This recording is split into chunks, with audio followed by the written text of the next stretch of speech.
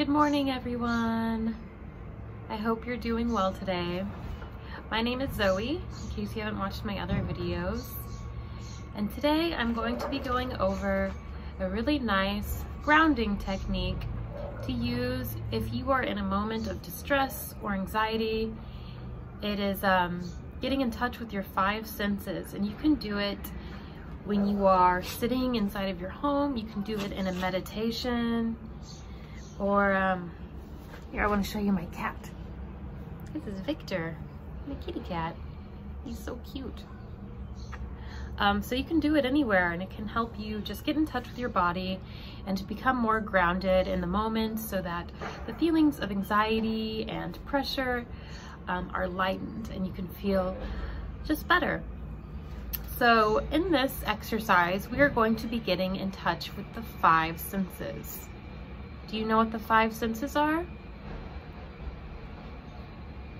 One you do with your eyes, seeing. One you do with your ears, hearing. One you do with your hands or your body, touch, feeling. One you do with your tongue, it's taste. And one you do with your nose, smell. So in this exercise, this grounding technique, we are going to be getting in touch with those five senses one at a time. And it's called the five, four, three, two, one technique.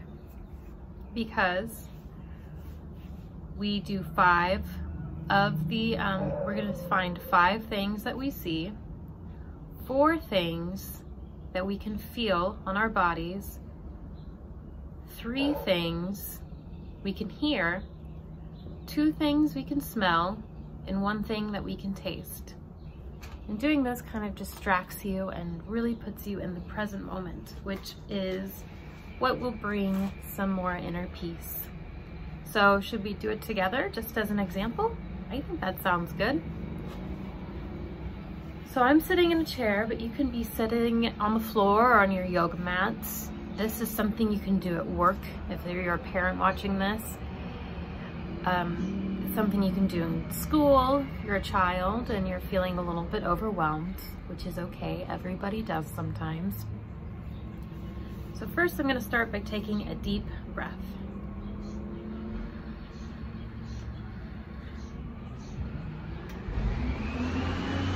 It's, it's trash day again, so bear with me here. I'm gonna name five things that I can see. I'm gonna name them out loud. One is I see my Beatles mug with my coffee in it. Another thing I see is a book. I see tree. That's three. Number four is my kitty cat. Oh, I wish I could just see him everywhere. I would never be anxious. And number five, I'm gonna go ahead and say, I can see the blue sky today. This is a really fun exercise to do outside because there's so many beautiful things to see and smell in nature, but it's also wonderful to do inside. So that was my first one, five things that I see. Now for four, we're gonna count four different things that we are feeling in our body. So let's see, I really have to get in touch with my body for this one. I can feel the wind blowing hair on my neck.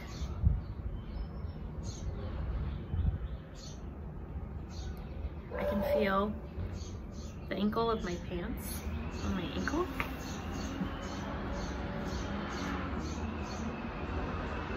I can feel my cheeks move when I smile. I can feel my fingers because they're interlaced. I think that's four. Very good. Now I'm going to identify three different things that I can hear. Wow, that one's easy for me because it's kind of noisy out here. I can hear the trash truck, or maybe it's the recycling truck.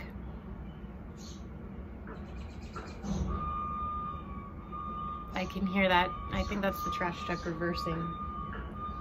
I can hear birds chirp. I think those are the grackles. And I can hear somebody hammering something in the distance. Those are three different things that I can hear. For the next part, we're going to identify two different smells.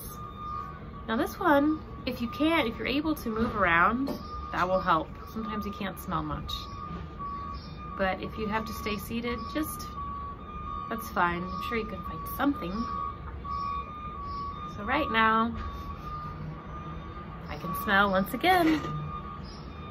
I can smell my coffee.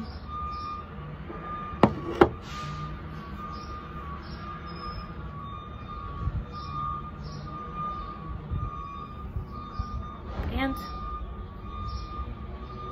I washed my hair, so I can smell my shampoo still. What can you smell?